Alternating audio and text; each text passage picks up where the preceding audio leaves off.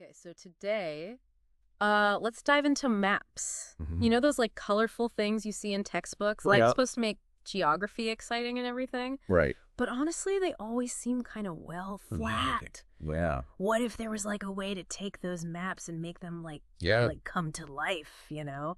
That's where geo inquiries come in. Ooh. They're like the jump from like a flip book to like a movie, you know, Okay. taking something static and then making it dynamic and interactive and engaging. It's making me think back to like middle school geography classes, just memorizing capitals and like where mountain ranges are. And Oh. geo inquiries just sound way cooler. Yeah. So break it down for us. Like, what actually are geo inquiries? So imagine this. You're learning about volcanoes, okay. but instead of just seeing a picture in a textbook, you're looking at an interactive map online. Mm-hmm. And it's not just any map. It's using ArcGIS online. Okay. It's kind of like Google Maps, but Mhm. you know, specifically for exploring Earth science concepts. Okay. You can zoom in on like real-time volcanic activity around the world, Wow. trace tectonic plates, and even see how they connect. That's so cool. Yeah, it's like holding the Earth's geology in your hand. Okay, that's already way more exciting than a textbook. Yeah, But this is designed specifically for the classroom, right? absolutely, especially for middle school Earth science. Okay. Each geo inquiry is like a bite-sized lesson, about 15 minutes long, Okay. and they're designed by teachers to match up with like the next generation science standards Right. or NGSS. NGSS. Yeah. It's all about making these complex topics instantly engaging and accessible and relevant to what the students are learning. So it's not even just about making the maps more fun, Right. which that's a bonus for sure, but there's a bigger impact here. Exactly. Yeah. It's about giving students and all of us really a better way to develop what's called spatial reasoning. Okay. So think of it like this. Okay. Have you ever wondered how like city planners decide where to put a park? Hmm. Or how experts can track the spread of diseases? Yeah. It all comes down to understanding what's called the why of where. Okay. And that's what geoinquiry helps you do. Okay, so we're talking volcanoes and plate tectonics and understanding patterns. Mm-hmm. What are some other like earth science topics that these geoinquiries cover? Oh, they cover a ton. Okay. Like everything from using satellite images to understand like changes on Earth. uh-huh. That's called remote sensing. Okay. To like exploring different types of rocks and minerals. Okay. Even stuff about weather patterns and climate change. Wow. So it sounds like they took every like cool part of earth science Right. and turned it into this interactive experience. Exactly. No more dozing off in the back of the class. Yeah, no more sleeping through those lessons. So they're created by actual teachers and curriculum designers. So Yeah. they're like really easy to use in a lesson plan. Exact- Incredibly easy. You don't need to do any like crazy software installations or like Mhm. expensive field trips or anything. And speaking of not being expensive, they're Yeah. totally free to use. Oh, yeah, that's right. I forgot about that. They're free. Completely free. Amazing. It's part of ESRI's commitment to making educational resources available Right. through the White House Connected Initiative. Okay. Plus, they're licensed under something called Creative Commons, Hmm.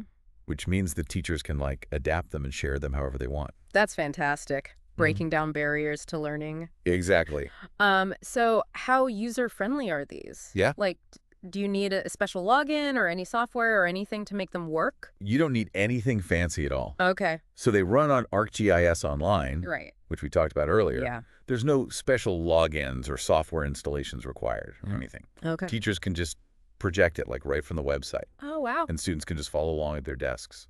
That's really cool. Yeah. Very convenient. No technical hurdles or anything. Okay, so let's say I'm like a teacher and I want to use that geo inquiry on volcanoes. Mm-hmm. What would that actually look like in action? Okay. Paint a picture for me. Okay. So you're a middle school earth science teacher, Mm-hmm. and you're about to start this lesson on volcanoes. Okay. Right. Okay. You dim the lights a little bit to set the mood. Okay. You pull up the geo inquiry on the projector, Mm-hmm. and suddenly, boom, there's this like vibrant map of the world Okay. that fills the screen. Okay. But here's the thing. This isn't just like a plain old map. Okay. This map is interactive. Okay. Now you're speaking my language. Okay. Tell me more about this interactive map. Okay, so this map, Hmm. it pinpoints the locations of volcanoes all across the globe. Mm. But it gets even cooler. Okay. It also shows tectonic plate boundaries. Oh, okay. So students can zoom in on different regions of the world, Mhm. like the Ring of Fire, Right. And they can see firsthand how the location of these volcanoes actually relates to like these dynamic plate movements. Uh. like it's all connected. That's what's so cool about it because Yeah. it's like plate tectonics. It's kind of like this abstract concept. Right. This makes it something that's visual, something you can actually like grasp and explore. And it's not even just about like the visuals. Okay. The geo inquiry also includes these like thought-provoking questions Mm-hmm. that encourage the students to like analyze the data that's on the map Okay. And like make connections and draw their own conclusions. So it's interactive on multiple levels. Yeah. It's not just like, Passive. yeah, like passive learning at all. Exactly. They're actively engaging with the material. Yeah. They're taking ownership of it. So th- this might seem like a little bit of a tangent. We've Yeah. talked a lot about like the benefits of geo inquiries, Yeah. but are there any limitations that we should be aware of? That's a great question. Yeah. So while they're incredibly valuable, Mm-hmm. it's important to remember that they're designed to be like short, Ugh. focused activities. Yeah. So think of them like powerful spices that enhance a meal, Right. not the entire dish itself, Okay. right? They're meant to like supplement and enrich Mm-hmm. the traditional teaching methods, not replace them entirely. That makes sense. Yeah. They're like the perfect complement to a well-rounded lesson plan. That's a great way to put it, Engaging, insightful, and thought-provoking. without overshadowing the main course. Exactly.